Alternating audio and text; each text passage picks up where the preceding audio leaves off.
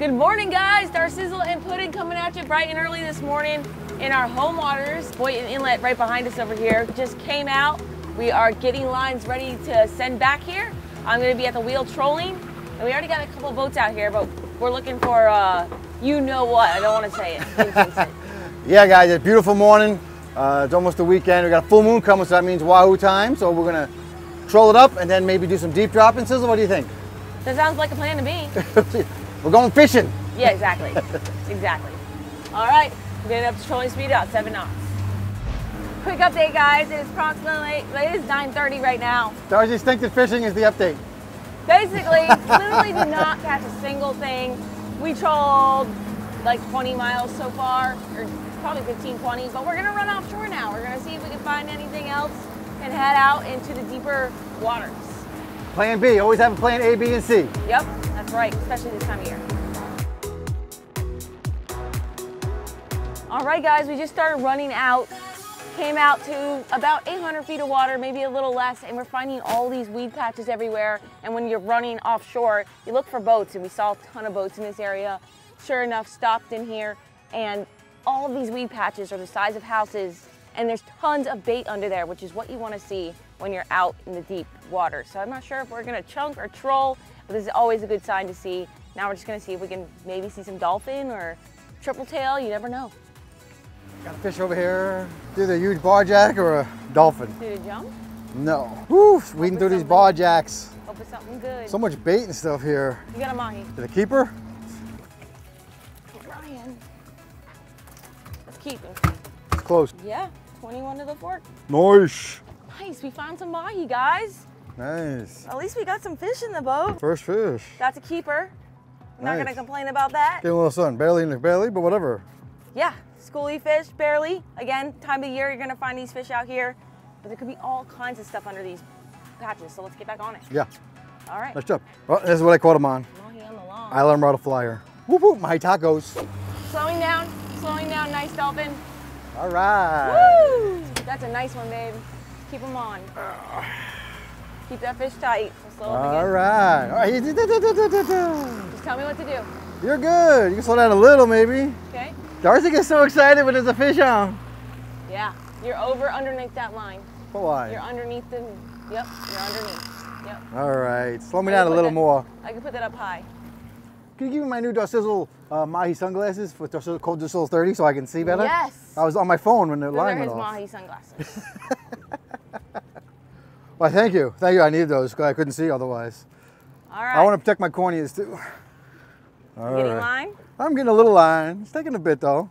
Yeah, right. so uh, caught that little mahi, and we just been circling this area where it's really patchy and full of bait fish everywhere, and that's what I like to see. I Oh, you really can put in, I'm sorry, you can put in gear and banana to the right a I'm little in bit. gear. And get to the, right. uh, I'm already in gear. I'm sorry, he's gonna be up here pretty quick, so going to the right.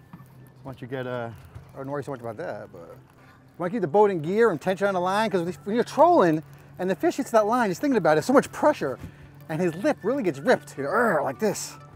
There he comes. Two dolphin, two dolphin on him. Oh no, right, we got one at a time. It's there one. is one next to him. Oh, is that a reflection? No, it's one. It's a All right, get on this side of this thing here, Sizzle. That's a good banana. That's a good banana. He's gonna be up here in a second. Here we go. That was a wacky gaff job, but we got him in the It boat. wasn't. It's perfect gaff job. You're in front of the line and everything else. That's a nice fish. Not a bad fish. For summer, that's a great fish. This might just be another mahi video, guys. That's a good fish for today. That's a good fish for today. That's the size of the fish I lost from the last video. If you guys saw that. No, he wasn't that big. yes, it was. He's perfect. You got a lure. Oh, it's deep. I just put that lure He in too. swallowed it, man. All right, nice fish. All right, guys, nice male mahi right there. Definitely a flipper, at least five pounds. Beautiful fish, but that's a nice fish for this time of the year, like we've been talking about, summer months. Nice one. All right, guys, let me go over my trolling spread real quick. These hooded shirts work really awesome. They're available on the website. I put uh, two up here, my rod holders and my king, they call these kingfish rod holders, but just tease. I don't use the outriggers, but it's just Darcy and I. Too much weed and it, it's just a lot more extra work for me, and these seem to work fine. Okay, uh, on this corner, I got a, a planer bridle system with a blue and white sea witch, a blue and white uh, sea witch right with a strip. Down oh, over here, I have a uh, the lure that just caught that fish on. It's an island or something or other. Down here, down the middle, I got an islander, not an islander, an island rod, a flyer. Works real well. On this corner is our standard uh, pink sea witch, okay? So pink sea witch on this corner, blue and white sea witch over there, okay? Again, on a bridle. And my outrodder over here, or kingfish rod holder, is a islander, like a little stubby one, which I really love those, okay? So just five lines. If you're running the fish, you're gonna catch the fish, okay? And, you know, again, for Darcy and I, when there's weed and we're filming and everything, this is very simple and, you know, catches some fish, okay? No big deal. You know, in the summertime, you know, a lot of guys want to pull ballyhoo. You know, it's like the staple, but you know, you see how big these fish are. They're not going to eat a ballyhoo, okay? Too big. And so a lot of times I miss it, so I, I just don't pull a lot of ballyhoo. Oh, back to the ballyhoo. You want to match the hatch. If you see flyers flying around, they're tiny.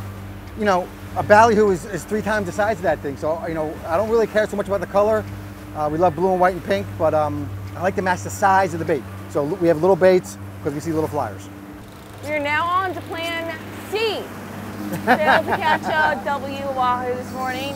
Came out, did some trolling. We did catch two mahi, not too shabby. Now we're gonna go do some deep dropping, which we haven't done in quite a while. Looking for some elusive tilefish. Yeah, super deep. I actually think we're on plan. We're going to plan B. This is kind of a plan C we threw in the middle for no reason because we saw some something. I don't know. No. Anyhow. Anyway, Whatever you think. have options, Yeah. guys. Have options. Yeah, well at least we stopped because we wouldn't have boat, fish in the boat otherwise. So it's kind of like, that was worth it. All right, so Brian's reeling up the lines. We're gonna head over to our deep drop shot, fishing in very deep pitch black water. Let's go. All right, man. We're here. One of our spots we caught a fish before. So Sizzle is in full deep drop mode.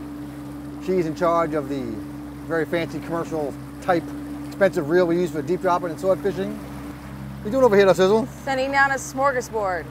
A smorgasbord. Yeah, Making a buffet for the fishes. yeah. Juicy squids and bonita. Nice. Yeah. I see you using your Smith's bait breaker knife. Yes. Love it. All right. Now, got to get the rig set up and get baited up and let's send it to the deep. Nice. There's the rig. Basically like a big chicken rig with five hooks on it. And we send it down, heavy tackle, and we see what we can catch. All right, let's drop. First drop. Here we go. How, how heavy is the weight? Seven pounds. Seven pounds. Here it goes. Go for it. To the bottom we go. Oh, All right, first drop, guys. Been a while since we've done this, so we're gonna work out our kinks, Yeah. just like any other fishing. I'm gonna drive into the current. You wanna drive faster, you can. Send it out way back. So it's kind of like you're fishing with a chicken rig. I'm gonna drive forward. The weight's gonna hit the back, bottom, And what's the and depth? then we're gonna drift back. It's a thousand feet. Thousand feet. little deep for us. Woo! Usually like a little shallower. I probably should have went heavier. I didn't realize. Probably. it. Somebody else gave us a spot, so we're gonna try it. Well, we had to move spots. Too much weed. The weed gets on the line, and just lifts it right up when you're 800 feet down. You know, you can't have it. I'm gonna slowly pick it All up. right, then you got to fish on. It's very subtle. It takes this is training. I know everyone says it's uh, Yeah, electric. There's, a, there's a fish on there. There's a fish on there. I don't know what it is. All right. Still, Well, we're in this- a little shallower. I Still a want ton you of to weed. start circling. Watch this. Watch this drift. All on right, this, I'll circle, I'm circling. line. Always steer towards the line and around it. Oh, round bottom. Oh, that's a fish, baby. All right, bring it in. That's a nice fish. I'm backing off on the drag. Might be a nice fish. Backing off on the drag here. All right. You see that? See that bump? Look at that. Yeah, it's nice. Mark where we are right now. It's, it's, we're, we have marked these rough spots. That's a night. Whatever this is is something different than we we usually much line you got catch. out? We got a lot. 1,300. 1,400 to go. Fish is on. Bend over. All right, nice. Just try to zero out of this whatever you, Okay, okay, okay. If you can. I mean, it is what it is. I just don't want to lose a fish on a goddamn on the weed. Watch the language. Oh my God, he's off. No, you're stuck in the dirt. You think? I don't know. Why Fish was it off. digging like that? I don't know. We don't know. We might have had a fish or it might have been stuck. Get the weight on Digging, there. dude. That was a fish. No, it's gone. The weight's gone? Yeah. Why is the weight There's gone? no weight's gone, babe. All right. Look how the, look how there's no weight on that. All right, line. we'll see. The Weight's gone too. It's gone. You never know. Um, no, I think there was a fish on there, and the whole rig broke. That was digging. The bottom doesn't hold like that. The bottom doesn't go like this. The bottom just pulls. Oh, you're just- right. It just pulls, but that that was like bending. Like that was the most I've ever seen it bend over. All right, whole thing's off. Hooks. I feel like um, Josh you guys might have been a tie-up fish went in a hole or a grouper or something and just broke off. We'll never know though. There's a rig I made, so now I feel like I'm maybe I broke it or something. But We will never know what happened. we'll never know. Try it again. That's why I bring more than one rig. Let's talk about how much money we lost on that drop. So the How light much- is 20. How much is the weight? probably 40, 50. The weight's 40 bucks? No. How heavy It's was the eight weight? pound weight. We, we, gave it 250, so it's 20 bucks for the weight. 20 bucks for the light, that's 40 bucks. Then these hooks are like 50 cents each or something like that. So, And all the bait.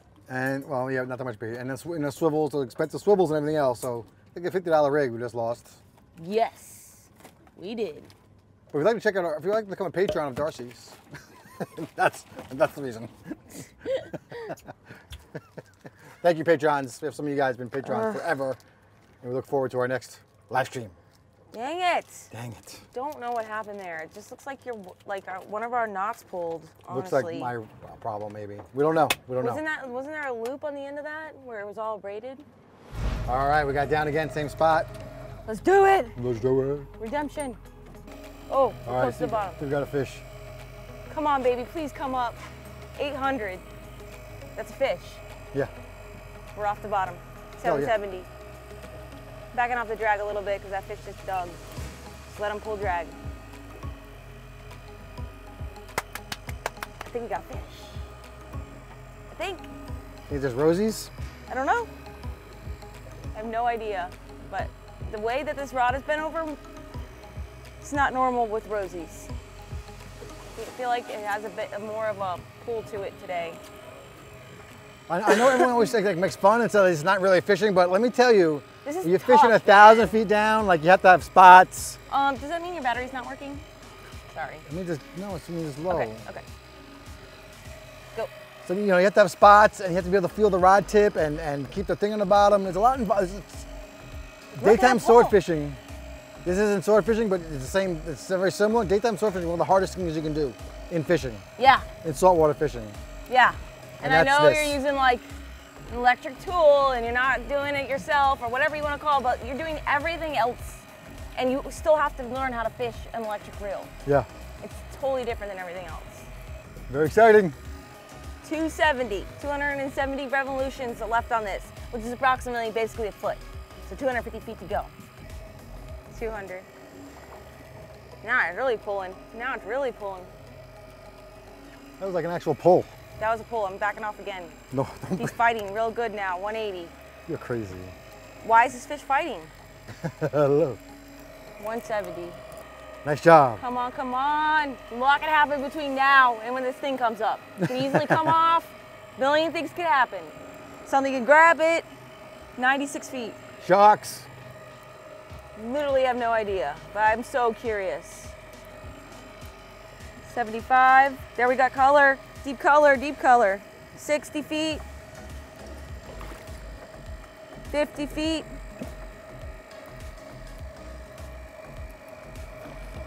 Oh my gosh, I think it's, you know what? Thank you. 30, 20. It is. Yeah, it is. Brian, watch at the top of the gap. Okay. Oh my God. Oh my gosh. We did it, Brian. We're getting another one right now. Let's go. We did it. We had a golden on first. Yeah. I told you. That's your biggest one ever. Sizzle, you did it. That's the biggest one you ever caught. Woo! PB. So sick. Golden. So sick. And he ate the big bait on the bottom, man. Yeah, we put bigger baits on to catch All bigger fish. This Miami Muttman gaff is awesome. We just got him the triple hook rig. Let's get it out. We got a tile fish hole.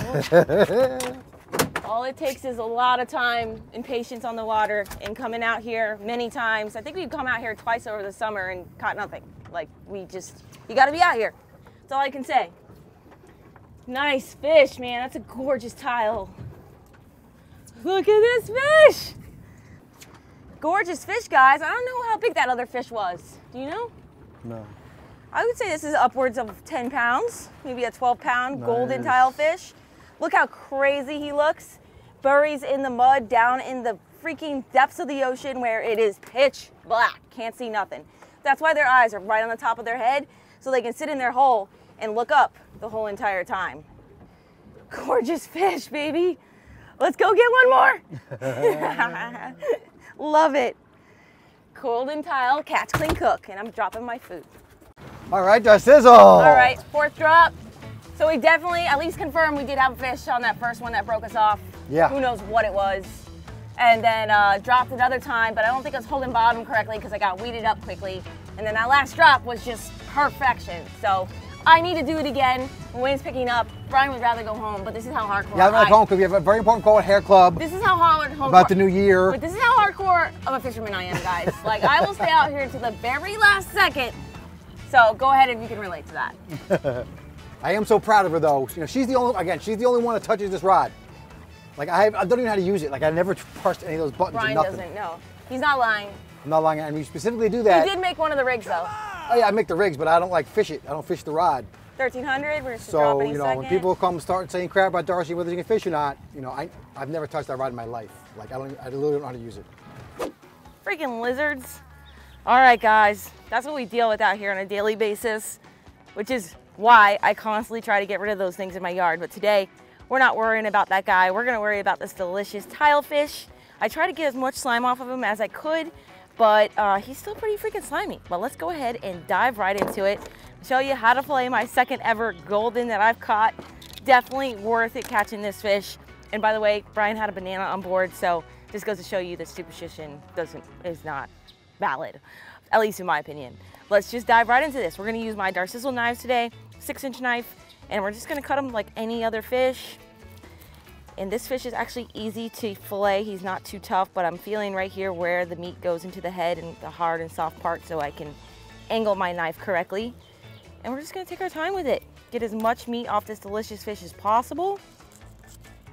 Go all the way down his back just like any other fish. But this fish doesn't really lose his color when he's dead. He's still really pretty with all those goldens on him. And then wait till you see this meat. It's so special. All right, we're just getting right in there. I did try to bleed him out, but he didn't really bleed too much. But again, I'm not really too worried about it because this fish just has epic, delicious meat.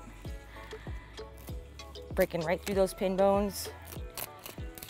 Just gliding that bone. You see I'm really bending that blade, just getting right on those bones. Really want to feel in those bones and your blade touching them as you fillet a fish. Absolutely gorgeous piece of meat right there. Woo! We're gonna be eating good, doing something super special with it, and we'll make sure pudding does. Switching to the nine, that way I can just go ahead and skin it right off. Sorry, the eight, not the nine.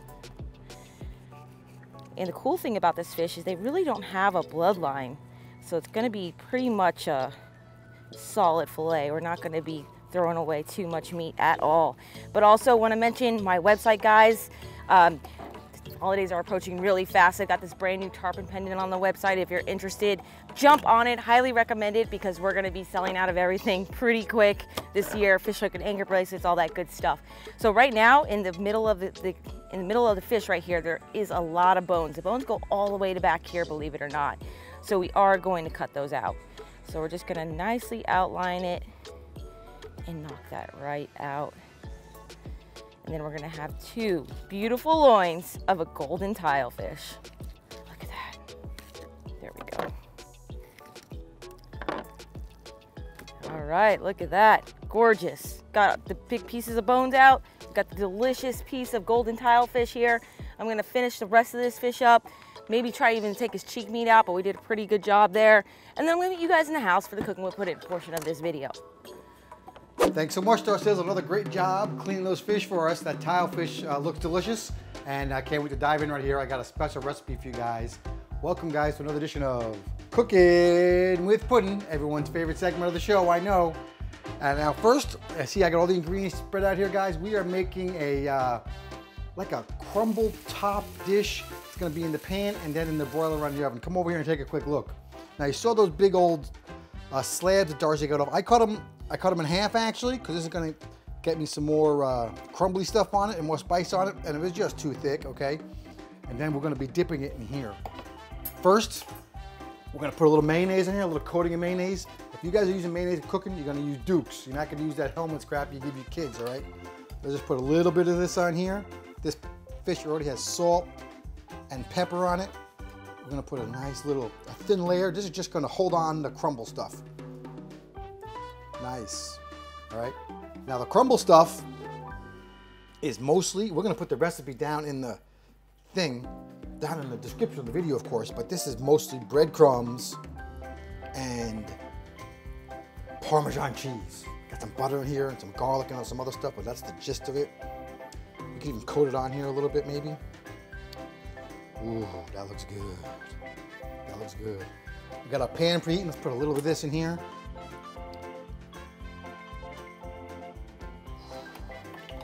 Looking good. Swirl it around a little. Let's get another one of these fishes ready, Sizzle. Darcy even did the cheeks. I got the cheeks here. It's gonna be sick. I don't want to fill up my pan too much, so I'll probably do the other ones again. All right, I'm gonna put that in there. I'm gonna come. I'm gonna put that in there for about two minutes. We'll be right back. All right, guys, about in about two minutes. Come in here, take a quick look. Oh, you probably can't get under there, but it's got a nice little brown coating on the bottom. We're gonna take it out. I got it on broil under here on high. I'm gonna put it right in here with this pan. They get the top nice and cooked and nice and brown and crunchy. This dinner's gonna be ready in just minutes. All right, guys, I think it's ready. Oh my guys. Oh, do you see this? Oh my lord. Get on there, Sizzle. Amazing. Amazing. Let's plate. Let's plate. I'll give you like half of this sizzle. Look at this. And how about a cheek? Nice. Look at this. Darcy's knife. Look at that. We got a little overcooked broccoli from yesterday. Oh, I'm spilling everywhere. We, we live together. It's just fine. You just do it like this. Nice. All right. Let's take it to the table and try it out. Let's go. All right, this is a wait for me. She's diving in already. I'm Trying to, but it's hot. it's too hot. It looks so good. do Incredible. do it. Go ahead. So hot. I'm having some cheek. It's super crispy. I love it. Incredible. Tile fish is just one of the best fish you're gonna get. Yeah. Super, you see how super white it is, tender. Yeah, I mean, we could have just had it, you know, salt and pepper, but we want to do something a little different. Yeah, and we always do that. topping is like the perfect combination with the fish and just crunchiness to it and buttery goodness, garlicky goodness is so good. Cheesy goodness, Another good job by Puddin. crushing it. Yeah, that was awesome. So can't get much better than that, guys. We are following our dream, and the fish that we do have left over, we already hooked up our neighbors. So that's kind of like what happens with the fish. Um, yeah, so that's about it, guys. Thank you so much for joining us on today's adventure. Until next time, follow, Follow your dreams and keep on catching. Cheers.